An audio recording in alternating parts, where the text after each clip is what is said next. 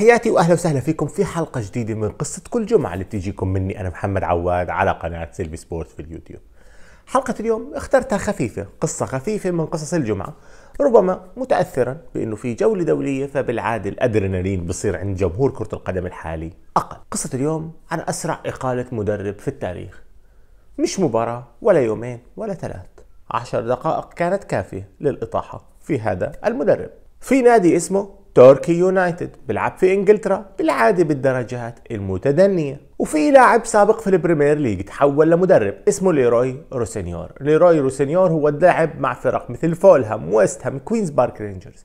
لكن كمدرب ما له بصمة. واضحه إنجليزي الجنسية سيراليوني الأصل لمستوى إنه يعني كان ماشي بإنه إنجليزي لفترة طويلة ثم مثل منتخب سيراليون في مباراة أو مباراتين أعتقد. كان قد درب توركي يونايتد في 2002 2006 قبل ما يستقيل وقبل ما يستقيل كان عامل معهم إنجاز موصلهم للليج 1 في تصنيفات الكرة الإنجليزية وهذا كان يعتبر إنجاز كبير بالنسبة لهذا النادي.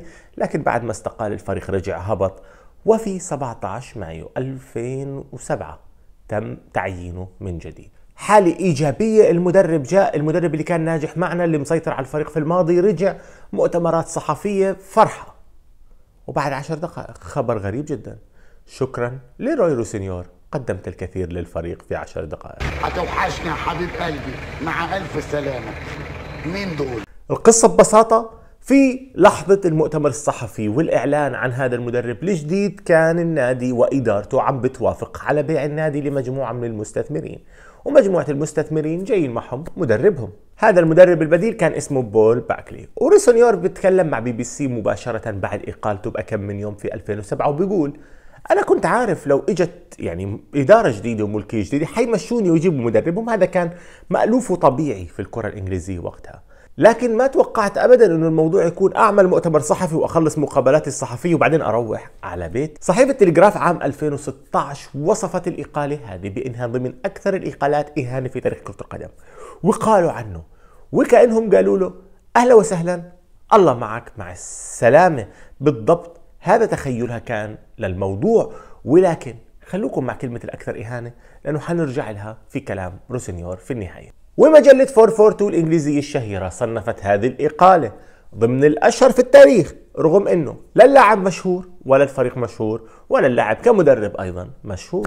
دورت أكثر على القصة عشان ألقى شوية تفاصيل زيادة عن اللي مكتوبة فلقيت في ساوند كلاود عام 2017 بودكاست لروسينيور مع صحيفة جارديان سألوه عن القصة وقال فيها إنه يعني أنا بختلف مع اللي بيصنفوها إنها إهانة لأني أنا شايفها شيء كوميدي مضحك اللي حصل. في خلال المقابلة تلك لمح تلميحات أن ربما الدافع لذلك كان يكون خلفه مسألة العرقية مسألة العنصرية على الأغلب. بس ما حكاها بصراحة لكن في ناس في التغريدات في ال social media لو تدوروا أكثر حتلقوا بعض الناس بلمحوا لهذه النظرية أنه أقيل بهذه السرعة لأنه أسمر البشرة. روسينيور بيكمل في البودكاست وبيقول الموضوع بالنسبة لي أنا كوميدي. الموضوع بالنسبة لي شهرني. أنا عمري ما كنت حنعرف كمدرب والناس تتذكرني 10 و15 سنة بعد مسيرتي إلا بهذا الإنجاز. الآن لو تدور على جوجل أغرب الإقالات بطلع أنا. لو تدور على جوجل أسرع الإقالات بطلع أنا. فالناس تضطر تقرأ عني. تعرف مين أنا كلاعب كرة قدم؟ ففعليا أنا بشكر اللي أقالوني بعد 10 دقائق لأنهم خلوا الناس تتذكرني. وبيختم كلام بقول للعلم دفعوا لي المقابل القانوني لأي إقالة في الدنيا حسب القانون وحسب العقد. يعني الرجل عشر دقائق أخذ فلوسه وانشهر إلى درجة أنه أعتقد كثير ناس منا ما بيعرفوا لا نادي تركيا يونايتد ولا روسينيور ومع ذلك بنسمع عنه القصة اليوم. بنوصل هون نهاية حلقة قصة الجمعة. بدي منكم في التعليقات تطلبوا قصص أكثر. الفترة الجاية حيكون عندي وقت أكثر وخلي أعمل كثير قصص نجهزها. ربما لا إنه كل الطلبات تتلبى إن شاء الله. كنت معكم أنا محمد عواد موجود فيسبوك تويتر إنستغرام.